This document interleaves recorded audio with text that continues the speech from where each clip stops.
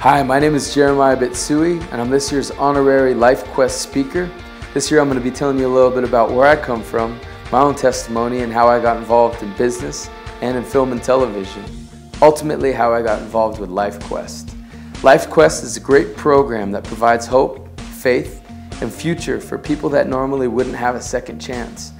We all need a support system. Some of us have it, and we're blessed with it. Some of us don't, and we need it. Thank you, and I want you all to join me that night, and we look forward to seeing you.